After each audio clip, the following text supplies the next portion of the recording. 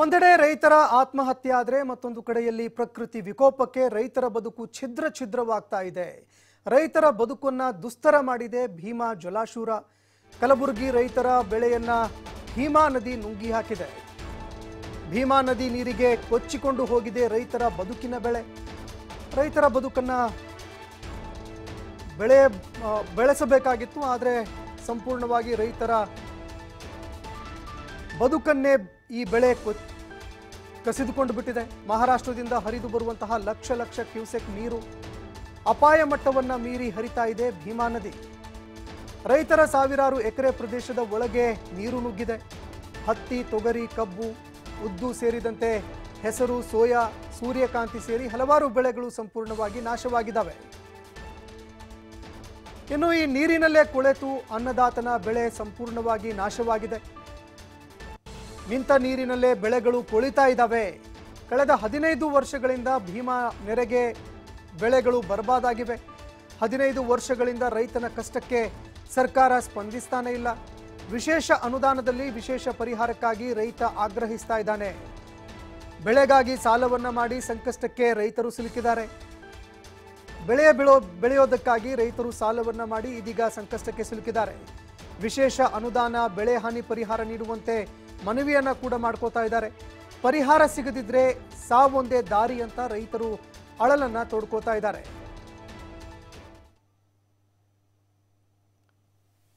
Okay, ದೃಶ್ಯಾವಳಿಯಲ್ಲಿ ನೋಡ್ತಾ ಇದ್ದೀರಿ ನೀವು. ಆ ನೀರು, ನದಿ ನೀರೇನಿದೆ? ಭೀಮಾ ನದಿ ನೀರು ಸಂಪೂರ್ಣವಾಗಿ ನಿಂತು ಬೆಳೆಗಳೆಲ್ಲವೂ ಕೂಡ ಕೊಳೆತು ಹೋಗ್ತಾ ಇದ್ದಾವೆ. ನಿಂತ ನೀರಲ್ಲೇ ಬೆಳೆಗಳೆಲ್ಲವೂ ಕೂಡ ನಾಶವಾಗಿ ಕೊಳೆತು ಹೋಗ್ತಾ ಇದ್ದಾವೆ. ಇದರಿಂದ ರೈತರು ಹದಿನೈದು ವರ್ಷಗಳಿಂದ ಸಮಸ್ಯೆಗಳನ್ನು ಎದುರಿಸ್ತಾ ಇದ್ದಾರೆ.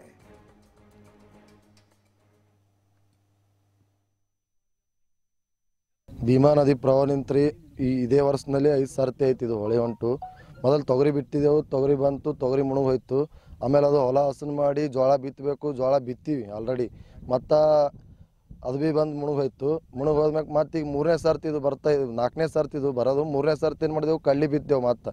ಹದಿನೈದು ದಿನ ಹದಿನೈದು ದಿನ ಗ್ಯಾಪ್ ಗ್ಯಾಪ್ ಆಗಿ ಒಂದೊಂದು ತಿಂಗಳು ಗ್ಯಾಪ್ ಗ್ಯಾಪ್ ಆಗಿ ಹೊಳೆ ಹೊಂಟದ. ಇದೇ ಥರ ಹೊಳೆ ಬಂದ್ರೆ ನಮ್ಮ ಪರಿಸ್ಥಿತಿ ಭಾಳ ಗಂಭೀರ ಅದ. ಇಷ್ಟೆಲ್ಲ ಹೇಳಕತ್ರ ಗೌರ್ಮೆಂಟ್ ಇದ್ರ ಬಗ್ಗೆ ತಲೆ ಕೆಡಿಸ್ಕೋದು ಕೆಲಿ ತಲೆನೇ ಕೆಡಿಸ್ಕೊಲಾಗ್ಯದ ಯಾರೊಬ್ಬರು ತಹಸೀಲ್ದಾರ್ ಇಲ್ಲ ಡಿ ಸಿ ಇಲ್ಲ, ಉಪ ತಹಸೀಲ್ದಾರ್ ಇಲ್ಲ, ಯಾರೂ ಇಲ್ಲ. ಈ ಕಡೆ ಬಂದು ನೋಡೋದಿಲ್ಲ. ತರ ಗಿರ, ಗ್ರಾಮ ಲೆಕ್ಕಿಕರ ಅವ್ರ ನಾವು ಕೇಳ್ತಾ ಇದ್ರೆ, ನಮ್ದು ಬೇರೆ ಕೊಟ್ಟಾರೆ ಬೇರೆ ಊರು ಕೊಟ್ಟಾರ ಬೇರೆ ಕಡೆಗೆ ಇದು ಮಾಡತ್ತಾರ. ನಮಗೆ ಇಲ್ಲೇನೂ ಇಲ್ಲ. ಅದ್ರ ಬಗ್ಗೆದಾಗ ನನಗೇನೂ ಮಾಹಿತಿ ಬಂದಿಲ್ಲ. ಭೀಮಾ ನದಿ ಪ್ರವಾಹ ಬಂದು ಮಾಹಿತಿ ಬಂದಿಲ್ಲ. ಬರೇ ಪ, ಮಳೆ ಬಂದು ಹಾನಿ ಆಗಿದ್ದು ಇಷ್ಟೇ ಮಾಹಿತಿ ಬಂದ್ರೆ ಅದು ಇಷ್ಟೇ ನಾ ಕೊಡ್ತಾ ಇದ್ದೀನಿ ಅಂತಂದ್ರೆ. ಅದು ಸುದ್ದಿಗೆ ನಾ ಪರಿಹಾರ ಬಂದು ಜಮಾ ಆಗ್ತಾ ಇಲ್ಲ. ಈ ಹೊಳೆ ಬಂದಿಲ್ಲ ಲೆಕ್ಕಕ್ಕಿಲ್ಲ ಅಲ್ಲ ರೀ. ಬೆಳೆ ಪರಿಹಾರ ಭೀ ಲೆಕ್ಕಕ್ಕಿಲ್ಲ. ಬೆಳೆ ಪರಿಹಾರ ಒಂದಿಷ್ಟು ಜನಕ್ಕೆ ಬಂದ ಒಂದಿಷ್ಟು ಜನಕ್ಕೆ ಬಂದಿಲ್ಲ. ಇದೇ ಥರ ಇದೇ ಪರಿಸ್ಥಿತಿ ಇದೆ ಈಗ ಬಿ, ಈ ಸರ್ಕಾರ ಬಂದು ನಮ್ಗೆ ಏನು ಕೆಲಸ ಮಾಡ್ತಾ ಇಲ್ಲ. ಇದಕ್ಕೊಂದು ಶಾಶ್ವತವಾಗಿ ನಮಗೆ ಪರಿಹಾರ ಕೊಡಬೇಕಿದು. ಇದು ವರ್ಷ, ಇದು ಹದಿನೈದು ವರ್ಷ ಐತಿ ಇದೇ ಥರ ಇದೆ. ಈಗ ಇದೇ ಥರ ಹೋದ್ರೆ ನಾವು ಏನೂ ಇಲ್ಲ ಅಂದ್ರೆ ಈಗ ಒಂದು ಎಕರೆಗೆ ಬ ಬಿತ್ತಬೇಕು ಎಲ್ಲ ಹಸನ್ ಮಾಡಬೇಕು, ಎಲ್ಲ ಇದು ಮಾಡ್ಬೇಕಂದ್ರೆ ಒಂದು ಮೂವತ್ತರಿಂದ ಮೂವತ್ತೈದು ಸಾವಿರ ತನಕ ಬರ್ತದೆ. ಈಗ ಇದೇ ಮೂವತ್ತೈದು ಸಾವಿರ ತನಕ ಬಂದು ಬರೀ ಪರಿಹಾರ ಕೊಡ್ತಾರೆ, ಎರಡು ಸಾವಿರ. ಒಂದು ಸಾವಿರ. ಅದು ಹೊಲ ಹಸನ್ ಮಾಡ್ಲಿಕ್ಕೆ ಭೀ ಸಾಲಲ್ಲ ನಮಗದು. ಈ ಥರ ಆಗಿ ನಾವು ರೈತರಿಗೆ ಕುತ್ತಿಗೆ ಬಂದದ. ಇಲ್ಲೇ ಹೊಲದಾಗ ಊರ್ಲ ಹಾಕೊಂಡು ಸಾಯ್ಬೇಕನ್ನೋ ಪರಿಸ್ಥಿತಿ ಬಂದದ ನಮಗೆ. ನಿಜವಾಗಿ ಹೇಳ್ಬೇಕಾದ್ರೆ ಇದು ಐದನೇ ಸಲ ರೀ ಹೊಳಿ ಬರೋದು. ಇದೇ ವರ್ಷಿಂದು. ಮೊದಲ ಹತ್ತು ಹನ್ನೆರಡು ವರ್ಷ ವರ್ಷನ ಬರ್ತದೆ ಇಳಿತದೆ. ರೈತರು ಭಾಳ ಕಷ್ಟ. ಈಗ ಸೋಯಾಬೀನ್ ಬಿತ್ತಾರ ನೀರಾಗಿ ಆಗ್ಯದ. ಉತ್ತಾಳೆ ಹೆಸರು ಬಿತ್ತಾರ ನೀರಾಗ್ಯದ ಉದ್ದು ಬಿತ್ತಾರ ನೀರಾಗ ಆಗ್ಯದ. ಮತ್ತು ತೊಗರಿ ಬಿತ್ತಾರ ನೀರಾಗ ಆಗ್ಯದ ಅದಕ್ಕೆ ರೋಟರ್ ಹೊಡೆದು ಮಾಡಿ ಎಲ್ಲ ರೆಡಿ ಮಾಡಿಟ್ರು ಮತ್ತೆ ಭೀಮಾ ನದಿ ನಮಗೆ ಬೆನ್ನ ಬಿಡಲೇ ಆಗ್ಯದ.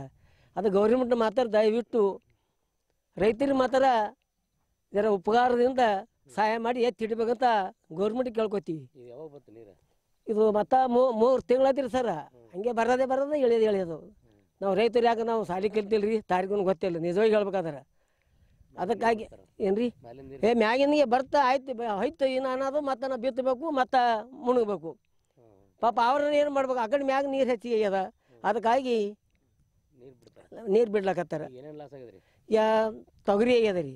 ಸೋಯ ಸೂರ್ಯಪಾನ ಸೋಯಾಬೀನ ಉತ್ತಾಳೆ ಸರ ಉದ್ದ ಹತ್ತಿ ಕ ಕಬ್ಬರೇ ನೀರ ನಿಂತಿದ್ದು ಒಟ್ಟ ಬೆಳವಣಿಗೆ ಆಗಲಾಗ್ಯದ ಏನಾಗಿ ನೀವು ನಿಜ ನೋಡಿ ನೀರೇ ನಿಂತು ಕಬ್ಬಿ ಕಬ್ಬು ಹೆಂಗದ ಮೇಲಡಿ ಹೆಂಗದ. ಹದಿನೈದು ಇಪ್ಪತ್ತು ಇಪ್ಪತ್ತೈದು ಗಣಿಕೆ ಆಗ್ಯದ. ಇಲ್ಲಿ ಅಟ್ಟೆ ಹತ್ತು ಹನ್ನೆರಡು ಗಂಟೆಗೆ ಗಣಿಕೆ ಆಗ್ಯದ ರೀ. ನಮ್ಮ ಪರಿಸ್ಥಿತಿ ಹಿಂಗೆ ನೋಡಿ ಸರ್ ನಿಮ್ಮ ಕೈ ಮುಗಿದು ಹೇಳ್ತೀನಿ ರೀ. ಜರ ಮ್ಯಾಗಿನವ್ರಿ ಜರ ಸರಿಯಾಗಿ ನೀವು ತಿಳಿಸ್ರಿ ಅನ್ರಿ ನಿಜವಾಗಿ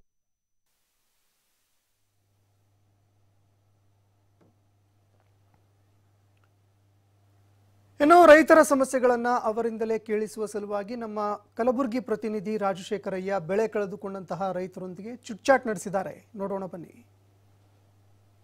ಭಾರಿ ಮಳೆಯಿಂದಾಗಿ ಕರ್ನಾಟಕದ ರೈತನ ಬದುಕು ಬೀದಿಗೆ ಬರುವಂತಹ ಪರಿಸ್ಥಿತಿ ಬಂದಿರುವಂಥದ್ದು ಏನು ಮಹಾರಾಷ್ಟ್ರದಲ್ಲಿ ಹೆಚ್ಚಿನ ಮಳೆ ಆದಂಥ ಪರಿಣಾಮವಾಗಿ ಉಜಿನಿ ಜಲಾಶಯದಿಂದ ಹೆಚ್ಚಿನ ಒಂದು ನೀರನ್ನು ಏನು ಹರಿಬಿಡಲಾಗಿದೆ? ಅದು ಭೀಮಾ ನದಿಗೆ ಬಂದು ಸೇರ್ತಾ ಇರುವಂಥದ್ದು ಕಲಬುರಗಿಯ ಸೊನ್ನ ಬ್ಯಾರೇಜಿಂದ ಒಂದು ಲಕ್ಷ ಐವತ್ತು ಕ್ಯೂಸೆಕ್ಸ್ ನೀರಿಗಿಂತಲೂ ಹೆಚ್ಚು ಪ್ರಮಾಣದ ನೀರು ಹರಿಬಿಟ್ಟಂಥ ಪರಿಣಾಮವಾಗಿ ಕಲಬುರಗಿಯ ಹಾಗರಗುಂಡಿಯ ರೈತರು ಸಾಕಷ್ಟು ಸಕ, ಸಂಕಷ್ಟವನ್ನು ಅನುಭವಿಸುವಂತಾಗಿರ್ತಕ್ಕಂಥದ್ದು. ಈಗ ಇದೀಗ ನೀವು ನೋಡ್ತಾ ಇರ್ಬೋದು, ಈ ಭೂಮಿ ಭೀಮಾ ನದಿ ಏನಿದೆ, ಈ ಭೀಮಾ ನದಿಯ ಹರಿವು ಹೆಚ್ಚಾದಂಥ ಪರಿಣಾಮವಾಗಿ ಈಗ ಜಮೀನುಗಳಿಗೆ ನೀರು ಬರ್ತಕ್ಕಂಥದ್ದು.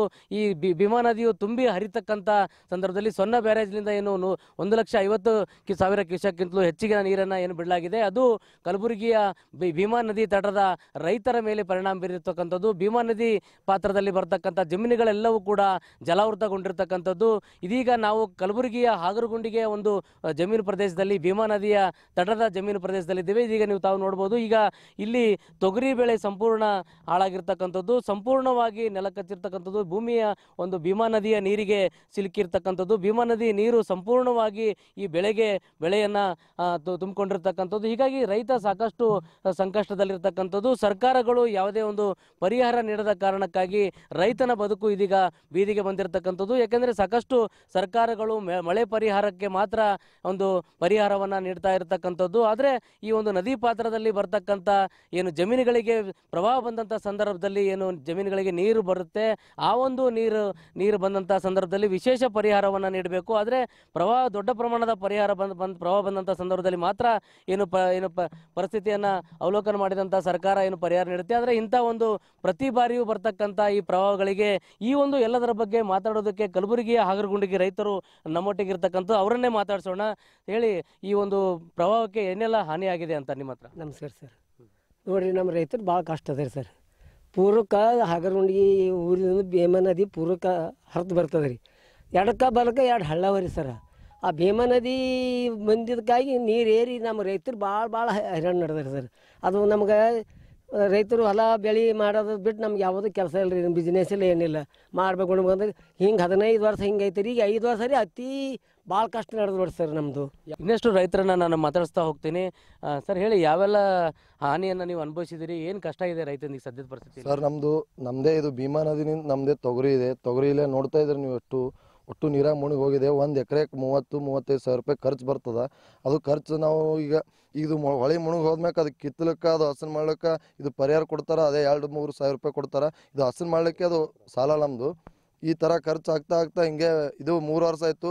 ಅವ್ರು ಯಾವಾಗ ಮಾಡ್ತಾರ ಅಂದ್ರೆ ಭೀಮಾ ನದಿ ಭಾಳ ಫುಲ್ ತುಂಬಿ ಹರಿದಾಗ ಪರಿಹಾರ ಘೋಷಣೆ ಮಾಡ್ತಾರೆ. ಇದು ಒಂದು ಲಕ್ಷ, ಎರಡು ಲಕ್ಷ ಕ್ಯೂಸಿಯಸ್ ನೀರು ಹರಿದ್ರೆ ಅವರು ಪರಿಹಾರ ಮಾಡಲ್ಲ ಅವರು. ಇದು ಒಂದು ಲಕ್ಷ, ಎರಡು ಲಕ್ಷ ಕ್ಯೂಸಿಯಸ್ ಹರಿದ್ರೆ ನಮ್ಮದು ಆರ, ಆರುನೂರು, ಏಳ್ನೂರು ಎಕರೆ ಹೊಲ ಮುಳುಗ್ತಾವ ಈಗ ಮೂರು ಲಕ್ಷ, ನಾಲ್ಕು ಲಕ್ಷ ಕ್ಯೂಸಿಯಸ್ ನೀರು ಬಿಟ್ಟಾಗ ಅವಾಗ, ಏ, ಇದು ಪರಿಹಾರ ಅಂತೇಳಿ ಘೋಷಣೆ ಮಾಡ್ತಾರೆ. ಪರಿಹಾರ ಘೋಷಣೆ ಮಾಡೋದು ಅದು ಪರಿಹಾರ ನಾವೇನು ಮಾಡೋದು, ಅದು ಪರಿಹಾರ ಎರಡು ಸಾವಿರ ಮೂರು ಸಾವಿರ ಬರ್ತದೆ ಅದು ಉಪಯೋಗ ಭೀ ಇಲ್ಲ. ಅದು ಇದೇ ಇಲ್ಲೇ ನಾವು ಊರು ಹಾಕೊಂಡು ಸಾಯೋದು ಒಂದು ಪರಿಸ್ಥಿತಿ ಬಂದದ ನೋಡಿ ಸರ್ ನಮ್ಮ ರೈತರು. ತಾವು ಏನೇನು ಬೆಳೆದಿದ್ರಿ ಏನೆಲ್ಲ ಲಾಸ್ ಆಗಿದೆ ಅಂತ? ನಾವು ತೊಗರಿ ಅದ ರೀ ಹತ್ತಿ ಅದ. ಎಲ್ಲ ಇದು ಎಂಟತ್ತು ವರ್ಷ ಐತ್ರಿ ಇದು. ಬರ್ತದ ಇಳಿತದ. ಪರಿಹಾರ ಏನೂ ಇಲ್ಲ. ಅವತ್ತು ಐದಾರು ಎಂಟು ಹತ್ತು ವರ್ಷ ಆಯಿತು. ಬ ಹಿಂಗೆ ಬರ್ತದೆ ಹಂಗೆ ದೀಪಾವಳಿ ತಾಗ್ತಾನೆ ಎಳೆಯಲ್ಲ ನೀರು. ನಾವು ರೈತರು ಇಪ್ಪತ್ತು ಎಕರೆಗೆ ಇಪ್ಪತ್ತೈದು ಸಾವಿರ ರೂಪಾಯಿ ಸಾಲ ತೊಗೊಂಡು ನಾವು ಎಲ್ಲ ಹಾಳಾಗಿವಿ ಬ್ಯಾಂಕ್ನಾಗ ಈಗ ನಾವು ಮುಟ್ಟಿಸ್ಬೇಕಾದ್ರೆ ನಾವು ಈ ಊರಲ್ಲಿ ಹಾಕಿ ಬ ಪಾಳಿ ಬಂದದ. ಅದೊಂದು ಅಂದರೆ ಗೌರ್ಮೆಂಟ್ ನಮಗೆ ಏನೂ ಸವಲತ್ತು ಮಾಡಲ್ಲ ರೈತರಿಗೆ. ಅಲ್ಲಿ ತನಕ ನಮಗೆ ಪರಿಹಾರ ಗೌರ್ಮೆಂಟ್ ಕೊಡಲ್ಲ ಅದು. ಒಟ್ಟಾರೆಯಾಗಿ ನದಿ ಪಾತ್ರ ಜನರಿಗೆ ವಿಶೇಷವಾದಂಥ ಒಂದು ಪರಿಹಾರವನ್ನು ನೀಡಬೇಕು ಅನ್ನುವಂಥದ್ದು ಇಲ್ಲಿ ಗ್ರಾಮಸ್ಥರು ಒಂದು ರೈತರ ಅಳ್ಳಾಗಿರ್ತಕ್ಕಂಥದ್ದು ಯಾಕಂದರೆ ಸರ್ಕಾರಗಳು ಏನು ಮಳೆ ಹಾನಿಯಾದಾಗ ಅತಿವೃಷ್ಟಿ, ಅನಾವೃಷ್ಟಿಗೆ ಮಾತ್ರ ಪರಿಹಾರ ನೀಡ್ತಕ್ಕಂಥದ್ದು. ಇಂಥ ಒಂದು ನದಿ ಪಾತ್ರದಲ್ಲಿ ಬರ್ತಕ್ಕಂಥ ಸಣ್ಣ ಪುಟ್ಟ ಪ್ರವಾಹಗಳಿಗೂ ಕೂಡ ವಿಶೇಷ ಅನುದಾನವನ್ನು ನೀಡಿ, ವಿಶೇಷ ಪರಿಹಾರ ನೀಡಿದಲ್ಲಿ ಮಾತ್ರ ರೈತ ಬದುಕಲಿಕ್ಕೆ ಸಾಧ್ಯ ಅಂತಕ್ಕಂಥ ಮಾತನ್ನು ರೈತರು ಹೇಳ್ತಕ್ಕಂಥದ್ದು. ಕ್ಯಾಮ್ರಾ ಪರ್ಸನ್ ವಿಜಯ್ ಗಾಜ್ರಿ ಜೊತೆ ರಾಜಶೇಖರಯ್ಯ ಟಿ ವಿ ಫೈ ಕಲಬುರಗಿ. ಓಕೆ ಈ ಬಗ್ಗೆ ಮಾತನಾಡಲಿಕ್ಕೆ ರೈತರಾಗಿರುವಂತಹ ಸಿದ್ದರಾಮ ಅವರು ಫೋನ್ ಸಂಪರ್ಕದಲ್ಲಿ ಜಾಯ್ನ್ ಆಗಿದ್ದಾರೆ. ಸಿದ್ದರಾಮ ಅವರೇ ನಮಸ್ಕಾರ. ನಮಸ್ಕಾರ ಸರ್ ಹದಿನೈದು ವರ್ಷ ಹದಿನೈದು ವರ್ಷದಿಂದ ಈವರೆಗೆ ಎಷ್ಟು ಬಾರಿ ಇದೇ ರೀತಿ ಆ ಭೀಮಾ ನದಿ ನೀರು ಬಂದು ಬೆಳೆಯನ್ನ ಹಾನಿ ಮಾಡಿದೆ. ಹದಿನೈದು ವರ್ಷದಲ್ಲಿ ನೀವು ಅನುಭವಿಸಿರುವಂತಹ ಸಂಕಷ್ಟ ಎಷ್ಟು ಅಂತ? ಸರ್ ಏನಿಲ್ಲ ಸರ್ ಹದಿನೈದು ವರ್ಷ ಆಯ್ತು ಇದು. ಬಿತ್ತದು ತೊಗರಿ ಚಲೋ ಇರ್ತೀವು. ಮತ್ತೆ ಹೊಳಿ ಬರೋದು ಮುಣಗೋದು ಅವಾಗ ನಾಗರ ಪಂಚಮಿ ಟೈಮಿಗೆ ಬರ್ತಿತ್ತು. ಆಗಸ್ಟ್ ತಿಂಗಳಲ್ಲಿ ಬರ್ತಿತ್ತು ಸರ್ ಅವಾಗ. ಈಗರೆ ಈಗರೇ ಐದು ವರ್ಷ ಆಯ್ತು ಸರ್ ಯಾವಾಗ ಸಿಕ್ಕಾಗ ಬರ್ತದ ಸರ್ ಹೊಳಿ? ಭೀಮಾ ನದಿ ಯಾವಾಗ ಸಿಕ್ಕಾಗ ಬರ್ತದ? ಟೈಮ್ ಇಲ್ಲ ಏನಿಲ್ಲ. ಮಳೆಗಾಲ ಇರ್ಲಿ ಚಳಿಗಾಲ ಇರ್ಲಿ. ಯಾವಾಗ ಬೇಕಾದಾಗ ಬಿ ಹೊಳಿ ಬರ್ತದ. ಅವ್ ಬಿತ್ತಿದ ಬೆಳೆ ಸುದ್ದಕ್ಕೆಲ್ಲ ಸರ್ವನಾಶ ಆಗಿ ಹೋಲತ್ತದ ಸರ್ ನಮ್ದು. ಇದು ಹದಿನೈದು ವರ್ಷ ಕಂಟಿನ್ಯೂ ಆಯ್ತು ಸರ್ ಈಗ ಈಗ ಐದು ವರ್ಷ ಆಯ್ತು ಸರ್ ಯಾವಾಗ ಬೇಕಾದಾಗ ಬರ್ತದ ಸರ್ ಯಾವಾಗ ಬೇಕಾದಾಗ ಬರ್ತದ? ಈ ಟೈಮಿಗೆ ಈ ಟೈಮಿಗೆ ಮಳೆ ಬರೋದು ಎಲ್ಲ ಈಗ ಈಗ- ಅದು ಹೊಳೆ ಬಂದ್ ಹೋದ್ಮೇಲೆ ನಾವು ಬಿತ್ತಲಕ್ಕ ಮಾಡ್ಲಕ್ಕ ಟೈಮ್ ಬೇಕಲ್ಲ ಸರ್ ಮುಂದ್ ಮಳಿ ಇಲ್ಲ ಏನಿಲ್ಲ ಅದು ಯಾ ಯಾವ ತರ ಬೆಳಿಬೇಕು ಏನ್ ಬೆಳಿಬೇಕು ಮುಂದ್ ಜ್ವಾಳ ಬಿ ಆಗಲ್ಲ ಏನೂ ಆಗಲ್ಲ ಹೊಲ ಖಾಲಿ ಇಟ್ಕೊಂಡು ಕುಂದ್ರಲತ್ತೀವಿ ಸರ್ ನಾವು. ಹ್ಮ್ ಹ್ಮ್ ಹ್ಮ್. ಅದು ವ್ಯವಸಾಯ ಮಾಡ್ಲಕ್ ಬರಲಾರ್ದಂಗ ಆಗ್ಬಿಟ್ಟದ ಸರ್ ಅದು. ಓಕೆ. ಈ ಹದಿನೈದು ವರ್ಷದೊಳಗಡೆ ಎಷ್ಟು ಜನ ಎಷ್ಟು ಬಾರಿ ಜನಪ್ರತಿನಿಧಿಗಳು ನಮ್ಮ ನಿಮ್ಮ ಹತ್ರ ಬಂದಿದ್ದಾರೆ? ಇದನ್ನೆಲ್ಲ ಅವಲೋಕನ ಮಾಡಿ ಶಾಶ್ವತ ಪರಿಹಾರ ಕಂಡುಕೊಳ್ಳೋ ಬಗ್ಗೆ ಯಾರಾದರೂ ಒಬ್ಬರಾದರೂ ಮಾತನಾಡಿದಾರ? ಸರ್ ಶಾಶ್ವತ ಪರಿಹಾರ ಅಂತ ಏನು ಯಾರು ಮಾತಾಡ್ಲಿಲ್ಲ ಸರ್ ಹದಿನೈದು ವರ್ಷದಿಂದ ಅವಾಗ ಬರ್ತಾವ್ರಿ ಸರ್. ಪರಿಹಾರ ಕೇಂದ್ರ ಸರ್ಕಾರದಿಂದ ಯಾವಾಗ ಘೋಷಣೆ ಮಾಡ್ತಾರ ಮತ್ ಸರ್ಕಾರದಿಂದ ಈ ಇದ್ದ ಸರ್ಕಾರದಿಂದ ಯಾವಾಗ ಘೋಷಣೆ ಮಾಡ್ತಾರ ಅವಾಗ ಇಷ್ಟೇ ಪರಿಹಾರ ಬರ್ತದ ಸರ್. ಈಗ ಒಂದ್ ಒಂದ್ ಲಕ್ಷ ಎರಡ್ ಲಕ್ಷ ಕ್ಯೂಸಿಯಸ್ ನೀರ್ ಬಿಟ್ಟಾಗ ಒಟ್ಟ ಪರಿಹಾರ ಅದು ಅದು ಪ್ರವಾಹ ಘೋಷಣೆ ಬಿ ಮಾಡಲ್ಲ ನಮಗ ಅದು ಪರಿಹಾರ ಬಿ ಬರಲ್ಲ ಸರ್. ಹ್ಮ್ ಹ್ಮ್ ಹ್ಮ್. ಯಾವ್ಯಾವ ಬೆಳೆಗಳು ಹಾನಿಯಾಗಿದ್ದಾವೆ ಈಗ? ಎಷ್ಟು ಎಕರೆ ಬೆಳೆ ಹಾನಿಯಾಗಿದೆ ಅಂತ? ಸರ್ ನಮ್ಮ ಊರಲ್ಲಿ ಸರ್ ನಮ್ ನಮ್ಮ ಊರಲ್ಲಿ ಹೇಳ್ಬೇಕಂದ್ರೆ ಒಂದ್ ಆರ್ನೂರ್ ನಾಲ್ಕನೂರ್ ಎಕರೆ ಅಷ್ಟು ಬೆಳೆ ಹಾನಿ ಆಗೈತೆ ಸರ್ ತೊಗರಿ ಹತ್ತಿ ಸೋಯಾಬೀನು ಹೆಸರ ಕಬ್ಬ ಈ ತರ ಎಲ್ಲ ಬೆಳೆಗಳು ಹಾಕಿದ್ದೇವ್ ಸರ್ ಈಗ ಅದೇನ್ ಕಟಾವ್ ಬಂದಿತ್ತು ಸರ್ ಹೆಸರು ಸೋಯಾಬೀನು ಅಷ್ಟು ಹರ್ಕೊಂಡು ಹೋಗಿದೆ ಸರ್ ಹ್ಮ್ ಹ್ಮ್ ಹ್ಮ್. ತಂದಿದ್ದೀರಾ? ಅಧಿಕಾರಿಗಳು ಯಾರಾದ್ರೂ ಬಂದು ಅವಲೋಕನ ಮಾಡಿದಾರ? ಸರ್ ನಿಮ್ದು ಟಿವಿ ಫೈವ್ ನ್ಯೂಸ್ ನಿಂತ ನೋಡಿ ನಿನ್ನೆ ತಹಸೀಲ್ದಾರ್ ಅವ್ರು ಬಂದಿದ್ರು ಸರ್ ಬಂದು ನೋಡ್ಕೊಂಡು ಒಂದು ಸಮೀಕ್ಷೆ ಮಾಡಿ ನಿಮ್ಗೆ ಶಾಶ್ವತ ವಿಶೇಷವಾದ ಪರಿಹಾರ ಘೋಷಣೆ ಮಾಡಂತ ಮಾಡ್- ಮಾಡ್ತೀನಿ ಅಂತ ಹೇಳಿ ಹೋಗಿದ್ದಾರೆ ಸರ್. ಏನ್ ಮಾಡ್ತಾರ? ಅವ್ರ ಮೇಲೆ ಡಿಪೆಂಡ್ ಅಪ್ ಅವ್ರ ಮೇಲೆ ಸರ್. ಓಕೆ ಸರ್ಕಾರಕ್ಕೆ ಏನ್ ಮನವಿ ಮಾಡ್ಕೊತೀರಿ ಸರ್ ನಮ್ಗ ಇದೇ ತರ ಪರಿಹಾರ ಅಂತ ವಿಶೇಷವಾದ ಒಂದು ಪರಿಹಾರ ವಿಶೇಷವಾದ ಒಂದು ಪ್ಯಾಕೇಜ್ ಕೊಟ್ಬಿಟ್ಟು ನಮ್ಗ ಒಂಥರ ಸರ್ಕಾರಕ್ಕೆ ಒಂದು ಇದು ಆದಂಗ ಆತು ಸರ್ ನಮ್ಗ ಒಂಥರ ರೈತರಿಗೆ ಎತ್ ಹಿಡ್ದಂಗ ಆತು ನೋಡಿ ಸರ್. ಹ್ಮ್ ಹ್ಮ್ ಹ್ಮ್. ಯಾಕಂದ್ರೆ ಇದು ಒಂದ್ ಲಕ್ಷ ಎರಡ್ ಲಕ್ಷ ನೀರ್ ಬಿಟ್ಟಾಗ ಇಲ್ಲಿ ಆರಾರು ಏಳು ನೂರ್ ಎಕರೆ ಮುಳುಗ್ತಾವ ಸರ್. ಒಂದ್ ಲಕ್ಷ ಎರಡ್ ಲಕ್ಷ ನೀರ್ ಬಿಟ್ಟಾಗ ಅವ್ರು ಪ್ರವಾಹ ಅಂತ ಘೋಷಣೆ ಮಾಡಲ್ ಸರ್. ಒಮ್ಮೆ ನಾಲ್ಕ್ ಲಕ್ಷ ಐದ್ ಲಕ್ಷ ನೀರ್ ಬಿಟ್ಟಾಗ ಅವಾಗ ಪ್ರವಾಹ ಅಂತ ಘೋಷಣೆ ಮಾಡ್ತಾರ ಸರ್. ಈಗ ಒಂದ್ ಲಕ್ಷ ಎರಡ್ ಲಕ್ಷ ನೀರ್ ಬಿಟ್ಟಾಗ ಇದು ಇದೊಂಥರ ಅದು ಇದಿದೆ ಸರ್ ನಮಗಿದು ಹಣೆ ಬರನ್ಯಾಗ ಹ್ಮ್. ಏನ್ ಮಾಡಕ್ ಬರಲ್ಲ ಅಂತಾರ ಅವ್ರು ಕೇಳಿದ್ರ ಸರ್. ಹವಾಮಾನದವ್ರಿಗೆ ಎಲ್ಲರಿಗೂ ಗೊತ್ತಿರ್ತದ ಸರ್. ಮಳೆ ಹೆಚ್ಚು ಬರ್ತದ ಎಲ್ಲಾ ಮಾಡ್ತಾವ. ಹೋಗಿ ಎಲ್ಲಾ ಕಡೆಗೆ ಏನೇನ್ ಮಾಡ್ಬೇಕು ಎಲ್ಲ ವ್ಯವಸ್ಥೆ ಮಾಡ್ಕೊಂಡು ಇಟ್ಕೋಬೇಕು ಸರ್. ಅದು ಬಿ ಮಾಡ್ಕೊಂಡು ಇಟ್ಕೋದಾಗಲ್ಲ ಅಂದ್ರೆ ಏನ್ ಹೇಳ್ಬೇಕು ಸರ್ ಇವ್ರಿಗೆ? ಹ್ಮ್.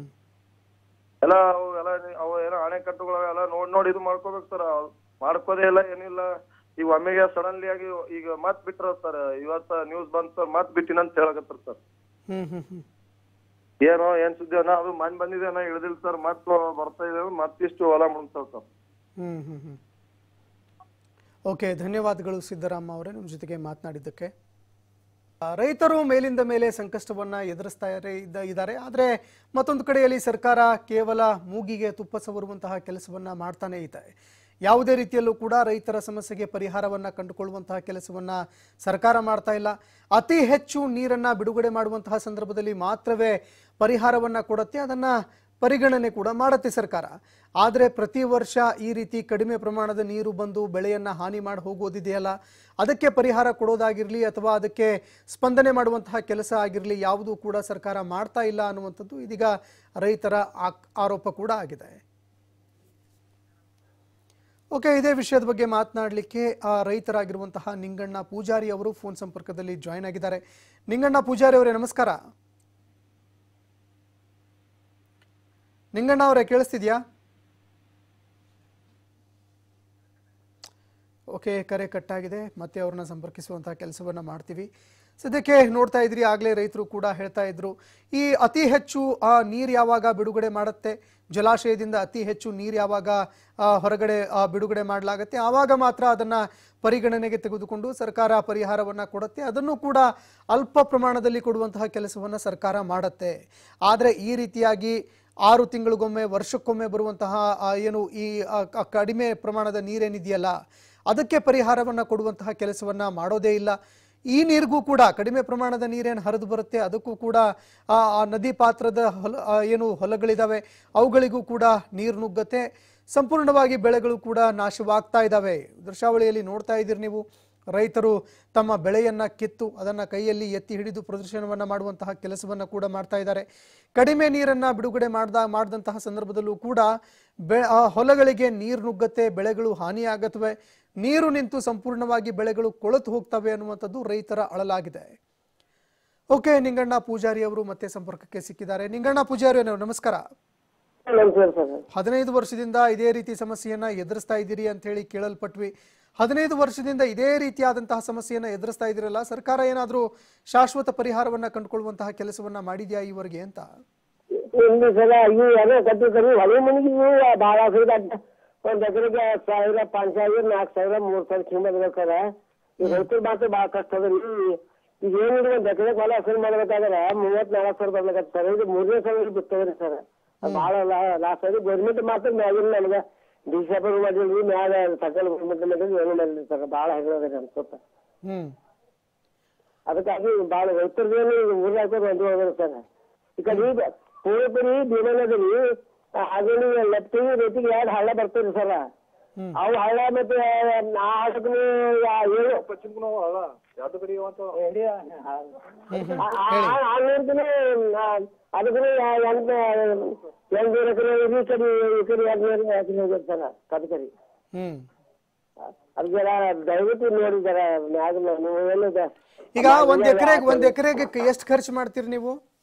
ನೋಡಿ ಒಂದ್ ಎಕರೆ ನೋಡಿ ಸರ ಹುಲ್ಲಾಗ ತೆಗೆದು ಮಾಡಿದ ಎಕರೆಗೆ ಮೂವತ್ತು ಮೂವತ್ತೈದು ಸಾವಿರ ರೀ ಎಲ್ಲ ಹಾ ಈಗ ಹಾ ಈಗ ರೀ ಗಂಡಾಳಿಗೆ ರೀ ಆರ್ನೂರು ರೀ ಹೆಣ್ಮಕ್ಳು ತಿನ್ಸೇರಿ ಏನ್ರಿ ಆ ಹುಲ್ಲು ಹುಲ್ಲನ್ನು ಕಿತ್ತಲ್ಲಿ ಜಾಲದಾಗ ಅವ್ರಿಗೆ ಎಂಟು ಎಂಟು ಕೊಡ್ಬೇಕು ಸರ್ ಹೀಗಾಗಿ ರೈತರು ಭಾಳ ಖರ್ಚು ಭಾಳ ಬರ್ಲಿಕತ್ತೀನಿ ಭಾಳ ನಮ್ಗೇನು ರೈತರೇನು ಊರ್ಬೇಕಂದು ಕಾಯಪ್ಪ ಪಾಳಿಗೆ ಬಂದ ಸರ್ ಹ್ಮ್ ಇವೇಂದ್ರೆ ಹದಿನೈದು ಹದಿನೈದು ವರ್ಷ ಆಲ್ಮೋಸ್ಟ್ ಈಗ ಐದು ವರ್ಷ ಭಾಳ ಅತಿ ಭಾಳ ಕಷ್ಟ ಆಗ್ಲಕತ್ತಾರ ಸರ್.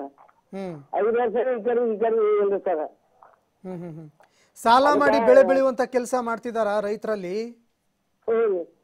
ಸಾಲ ಮಾಡಿ ಆ ಏನು ಈ ಬ- ಬೆಳೆ ಹಾನಿ ಎಷ್ಟು ಕೊಡ್ತಾರೆ? ಆಮೇಲೆ ನೋಡಿ ಸರ ಐದು ಸಾವಿರ ಬತ್ತು ಅದ್ರಿಗೆ ಆರು ಸಾವಿರ ಬತ್ತು ಎರಡು ಸಾವಿರ ಬತ್ತು ಅದು ನಮ್ದು ಇಪ್ಪತ್ತೈದು ಮೂವತ್ತೈದು ಮೂವತ್ತು ಎಕರೆ ಏನು ಮತ್ತೆ ಐದು ಎಕರೆ ಒಳಗಿದ್ದಿದ್ದೆ ಅದು ಗೌರ್ಮೆಂಟ್ ಪರಿಹಾರ ಕೊಟ್ಟಾರ ನೀವು ಹಳಿ ಮನೆಗೆ ಏನಾದ್ರೆ ಅದೇನು ಏನು ಒಟ್ಟು ಏನು ಬರಲ್ರಿ ಸರ್ ಈಗ ಮೂರನೇ ಸಾಲ ನಾವು ಬಿತ್ತಬೇಕು ಹಳಿ ಬರ್ಬೇಕು ಸರ್ ಬಿತ್ತಬೇಕು ಹಳಿ ಬರ್ಬೇಕು ಈಗ ಈ ಮೂರನೇ ಸಾಲ ನೋಡ್ರಿ ಮೊದಲು ಏನ್ ಮಾಡಿದ್ರಿ ತೊಗರಿ ಬಿತ್ತಿದ್ರಿ ನೀವು ತೊಗರಿ ಆದ್ಮೇಲೆ ಸೂರ್ಯ ಬಿತ್ತಿರಿ ಸೂರ್ಯ ನೋಡಿ ಕಡ್ಡಿ ಬಿತ್ತಿರಿ ಮತ್ತೀಗ ಅದು ಹನಿ ಹೇಳಿದ್ರಕ್ಕ ಅದೇನು ಸಣ್ಣ ದಂಡಿನ ನೀರು ಕಳ್ಳ ಬಟ್ಟು ಬೆಳಕತ್ತೀರಿ ಸರ್ ಅದು ಅದಕ್ಕಾಗಿ ನಮಗೆ ಏನು ಸರ್ ಈಗ ನಮ್ಮ ಮುಖ್ಯಮಂತ್ರಿ ಬಸವರಾಜ ಬೊಮ್ಮಾಯಿ ಅವರಿಗೆ ಏನ್ ಹೇಳಿ ಇಚ್ಛೆ ಪಡ್ತೀರಿ? ಅದು ಏನು ಅದು ಮುಖ್ಯಮಂತ್ರಿ ಅದು ಏನು ಹೇಳ್ಬೇಕು ಅದು ನಮ್ಮ ಎಕರೆಗೆ ಎಕರೆಗೆ ಮತ್ತೆ ಬಂದು ಹೊಲ ಎಳ್ಕೊಂಡು ಹೋಗಿ ಎಷ್ಟೊತ್ತು ಮುಗಿದ್ರೆ ಎಕರೆಗೆ ನಮಗೆ ಮತ್ತೆ ಹದಿನೈದು ಇಪ್ಪತ್ತು ಇಪ್ಪತ್ತೈದು ಸಾವಿರ ಕೊಡ್ಬೇಕು ಸರ್. ಅದ ರೈತರ ನಾವು ನಾವು ಉಳಿತೀವಿ ವರ್ಷ ಇರ್ಬೇಕಂತೀರಿ ಸರ್. ಈ ಕಡೆ ಆಳಕ್ ಬರ್ತೀರಿ ಈ ಕಡೆ. ಅದು ಅದರಿ ಕೆರೆ ನೀರೇನು ಅದು ಸತ್ತಲಕ್ಕಾಗಿ ನಮ್ಮ ಊರು ಹೈರಾಣ ಯಾವ ಸರ್ ಭಾಳ ಅದಕ್ಕೆ ಸರ್. ಓಕೆ ಧನ್ಯವಾದಗಳು ನಿಂಗಣ್ಣ ಪೂಜಾರಿ ಅವರೇ ನಮ್ಮ ಜೊತೆಗೆ ಮಾತನಾಡಿದ್ದಕ್ಕೆ.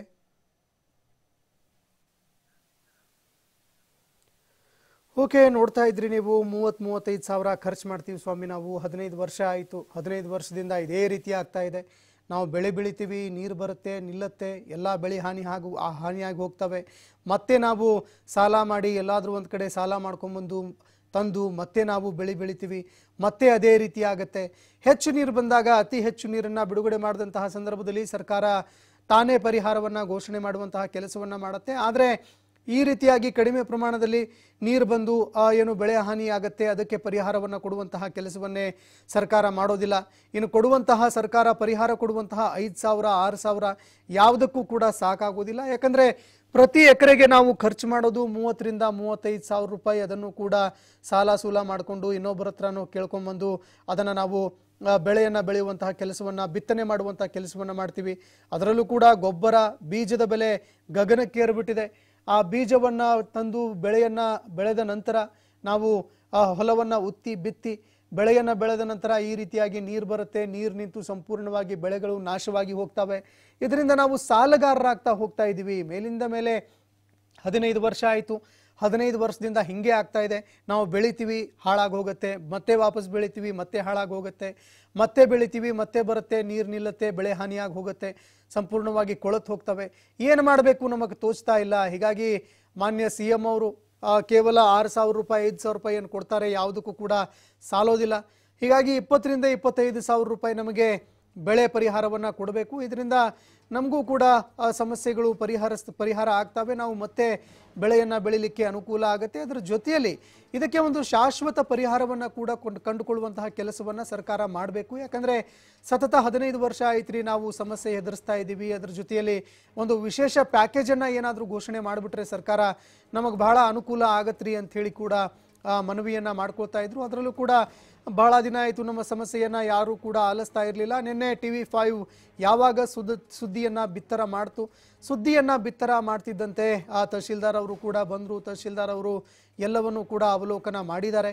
ಇದಾದ ನಂತರ ಒಂದು ಶಾಶ್ವತ ಪರಿಹಾರ ಅದರ ಜೊತೆಯಲ್ಲಿ ಒಂದು ವಿಶೇಷ ಪ್ಯಾಕೇಜ್ ಏನಾದರೂ ಸಾಧ್ಯ ಆದರೆ ಕೊಡಿಸ್ತೀನಿ ಅನ್ನುವಂತಹ ಒಂದು ಆಶ್ವಾಸನೆಯನ್ನು ಕೂಡ ತಹಶೀಲ್ದಾರ್ ಅವರು ಕೊಟ್ಟಿದ್ದಾರೆ ಅನ್ನುವಂತಹ ಮಾತುಗಳನ್ನು ಕೂಡ ಹೇಳ್ತಾ ಇದ್ರು. ವಿಶೇಷ ಪ್ಯಾಕೇಜನ್ನು ಏನಾದರೂ ಕೊಡಲಿಕ್ಕೆ ಆಗದೇ ಇದ್ರೆ ನಮಗೆ ಬಹಳಷ್ಟು ಸಮಸ್ಯೆ ಆಗತ್ತೆ ಅಂತ ರೈತರು ಹೇಳ್ತಾ ಇದ್ರು. ಓಕೆ ಈ ಬಗ್ಗೆ ಮಾತನಾಡಲಿಕ್ಕೆ ನಮ್ಮ ಜೊತೆಗೆ ಅಫಜಲ್ಪುರ ಶಾಸಕರಾಗಿರುವಂತಹ ಎಂ ವೈ ಪಾಟೀಲ್ ಅವರು ಫೋನ್ ಸಂಪರ್ಕದಲ್ಲಿ ಜಾಯ್ನ್ ಆಗಿದ್ದಾರೆ. ಸರ್ ನಮಸ್ಕಾರ.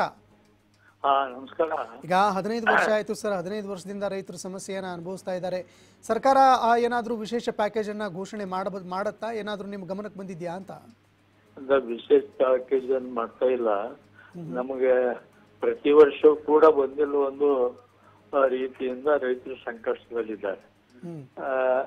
ಅನಾವೃಷ್ಟಿ ಅತಿ ಅತಿವೃಷ್ಟಿ ಎರಡೂ ನಮ್ಮ ಕ್ಷೇತ್ರಕ್ಕೆ ಒಂದಿಲ್ಲ ಒಂದಿಲ್ಲ ಒಂದು ವರ್ಷ ಬಿಟ್ಟು ಮತ್ತೊಂದು ವರ್ಷಕ್ಕೆ ಇದೆ ಗೋಳಿದೆ ನಮ್ಗೆ. ಬಹಳ ತೊಂದರೆಯಲ್ಲಿ ಒಂದ್ ವೇಳೆ ನಮ್ ಮಳೆ ಆಗ್ಲಿಲ್ಲ ಅಂದ್ರೂ ಕೂಡ ಆ ಮಹಾರಾಷ್ಟ್ರದ ಮಳೆ ಆದ್ರೂ ಕೂಡ ನಮ್ಮಲ್ಲಿ ಫ್ಲಡ್ ಬರ್ತದೆ. ಇಷ್ಟೆಲ್ಲ ಸಮಸ್ಯೆ ಆಗ್ತಾ ಇದ್ರು ರೈತರ ಜೊತೆಗೆ ಕೂತ್ಕೊಂಡು ಮಾತನಾಡಿ ಇದನ್ನ ಸಚಿವರ ಗಮನಕ್ಕೆ ತಂದು ಒಂದು ಶಾಶ್ವತ ಪರಿಹಾರ ಕಂಡುಕೊಳ್ಳುವಂತದ್ದು ಏನಾದ್ರು ಮಾಡಿದೀರಾ ನಾವು ಅಸೆಂಬ್ಲಿದಾಗ ಅರೇಂಜ್ ಮಾಡಿದೀವಿ ಇದಕ್ಕೆ ಏನಾದ್ರೂ ಪರಿಹಾರ ಸರ್ಕಾರ ಕಂಡು ಹಿಡಿಬೇಕು. ಯಾಕಂತಂದ್ರೆ ಈ ರೈತರಿಗೆ ರೈತರು ಕೂಡ ಏನು ಮಾಡೋ ಪರಿಸ್ಥಿತಿಯಲ್ಲಿ ಇಲ್ಲ. ಅದಕ್ಕೆ ಸರ್ಕಾರ ಏನಾದ್ರೂ ಇದಕ್ಕೆ ತಡೆಗಟ್ಟಲಿಕ್ಕೆ ಏನಾದ್ರೂ ಕ್ರಮ ತೆಗೆದುಕೊಳ್ಬೇಕು ಈಗ ಪರಿಹಾರಕ್ಕಾಗಿ ಪರಿಹಾರ ಏನಾಗಬಹುದು ಇದಕ್ಕೆ? ಈಗ ಪರಿಹಾರ ಅಂದ ಕೂಡಲೇ ಒಂದು ನಾರ್ಮ್ಸ್ ಅದ central norms. N D R F ಅಂತ ಹೇಳಿ ಈಗ N D R F S D R F ಕಾನೂನಿನ ಪ್ರಕಾರ ಆ ಅನುದಾನ ಇದು ಕೊಡ್ಲಿಕ್ಕೆ ಆಗ್ತಿಲ್ಲ ಆ, ಅಂತ ಹೇಳ್ತಾ ಇದ್ದಾರೆ. ಅನುದಾನ ಏನೂ ಆಗೋದಿಲ್ಲ ಅದು. ಹ್ಮ್. ಅದು ಆ ಬೀಜ ಗೊಬ್ಬರಕ್ಕೂ ಸಾಲೋದಿಲ್ಲ ಅದು. ಹ್ಮ್. ಅದಕ್ಕೆ ಅದು ಎಂದೋ ಒಬೆರಾ ಕಾಲಕ್ಕೆ ಆಗಿದ್ದಂತ ನಿಯಮ ಅದು ಬದಲು ಮಾಡಿ ಆ, ರೈತರಿಗೆ ಅನುಕೂಲ ಆದಂತ ಇನ್ಸೂರೆನ್ಸ್ ಇದು ಸಿಗಬೇಕು ಅಂತ ಹೇಳಿ ನಮ್ಮ ಒತ್ತಾಯ ಇದೆ. ಓಕೆ. ಓಕೆ ಓಕೆ ಧನ್ಯವಾದಗಳು ಎಂ ವೈ ಪಾಟೀಲ್ ಸರ್